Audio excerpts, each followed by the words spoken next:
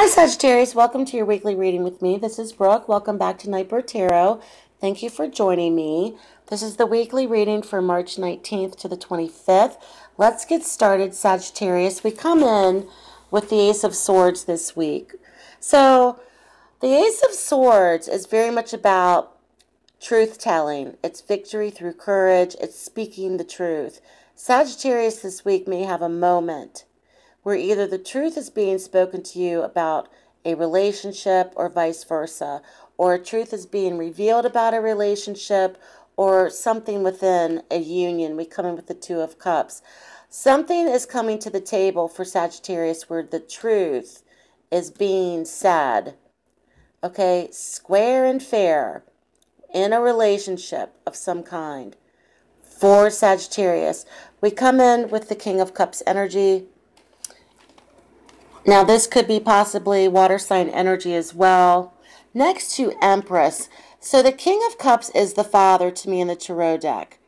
He's the father. The Empress is mother. We could be dealing with mother father energies. We also could be dealing perhaps with husband, father, brother. Okay, something connected to either marriage. This could be pregnancy. This could be fertility of some kind. Okay, so for Sagittarius this week, this also could be some sort of creative period for you or an abundant period as well. Something's connected to this king for Sagittarius. Something's connected to this king where death and the Three of Swords comes in. There could be a painful event for Sagittarius this week that is connected to great change, learning about something that may have an ending or finality and may cause you heartbreak for some and may be painful for many. Okay, something's coming in for Sagittarius surrounding this. I pulled another card right after these cards, and we have the Ace of Wands. This is new life.